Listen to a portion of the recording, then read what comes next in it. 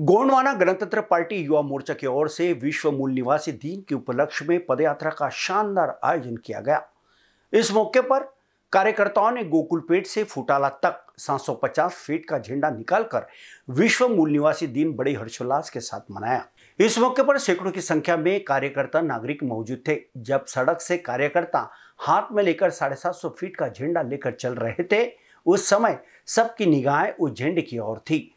इस कार्यक्रम में गोंडवाना गणतंत्र पार्टी युवा मोर्चा के तमाम पदाधिकारी और कार्यकर्ता बड़ी संख्या में मौजूद थे।